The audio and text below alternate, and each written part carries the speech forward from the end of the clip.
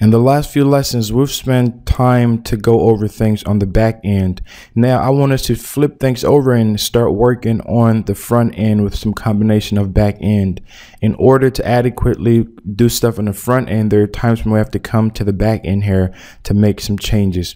So this is what the front end looks like, and it's still just the basic information that came with the installation. So now what we're going to do now is I want to connect the course that we created um, to this home page so that you start to get get a feel for what it looks like. So you go to menus to the main menu and want to select the home or whatever menu that you want to connect. And then you have to go to uh, menu item type and then choose the guru.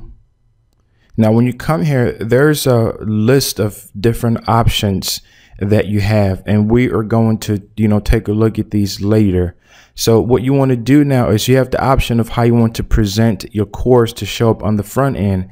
Well, you have this here, the category list layout, you have the course layout, and you have the courses category layout. This is going to allow people to be able to see the courses on the front end for non-registered users. So let's take a look first at the category list layout. And let's refresh this homepage. Okay, so when you come here, this is the category Joomla School, and it has one course in it. So let's click on it. And then right here shows you the course that is in this particular category. So let's go back here on the homepage quickly. Now, if you had multiple categories, then it's going to show, you know, multiple categories here. Right now it's just this one. So that's why it's showing just that one category. That's and then once you click on the Joomla School, it's going to show you an outline.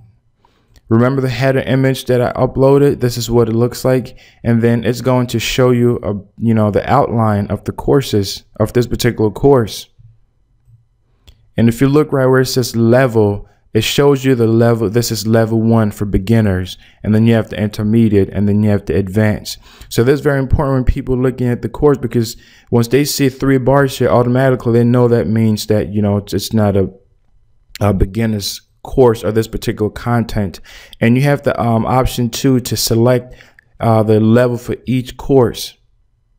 And then these are the buttons here: description, the price, the teacher the re requirements. All of this was set these on the back end. Let's go back here to the, the settings. Go to the layout. In the earlier video, we went through this and you had the option of enabling or disabling these here. So when you come here, this is for the list category layout. And then you have the course, the course page. Now, when you come to the course page, you have the option of of hiding a teacher's name, the, the release date, the level, the price. So let's let's uh disable. Let's hide. Let's say, for example, the release date. Right now, it's showing the release date right up right up here where it says released. So let's release it. Let's hide it, and then this here is for the tabs, and then you can choose to hide. Let's say we want to hide the requirement. Okay, let's save. So now the release date is no longer there and the description is here but you can see here we're just you know just that click you've been able to to hide it. So now when someone comes here and they want to take this course once they click on this they're going to get this message. Remember i showed you in the earlier video too how you can edit what this says here. This is the subscription message here that they, they're going to see. So on the back end is the promotion box. The promotion box here, this is what you're seeing here. So you can always come and edit this to whatever you wanted to, to say. And then of course you can click continue uh, to be able to, to purchase that course. And they can also just click buy now, which is going to bring them here to their cart. And then they can choose the plan here. So you can offer different courses with different types of plans. So this one is, is, is just the price for it. And the payment method is PayPal. So once they click on checkout, then it brings them here. They'll first, you know, have to register in order for them to check out. So if they're already members of your site, then they can just log in. But if they're not a member, then they have to register here as a student. And this is the registration. When you go on the, the back end here, this is the registration. If you want them to be able to, you know, agree to terms and condition, then you would have to put the terms and conditions uh, information here. So this is what they're going to see. They put their profile, they put their login. It's very basic. And then once they put that, they just create an account. And we're going to take a look at account creation later on once we get to the membership part of this course. So now you have everything that uh, they need in order for them to, to get started. So let's go back here. And what I'm going to do now is I'm just going to duplicate uh, different categories and the courses so that you get an idea when you offer different uh, categories. I went ahead and I created four additional courses. I just, you know, just copied them over and then just assign them to their respective category. I created, you know, other categories here. So let's take a look on the front end and see what it looks like.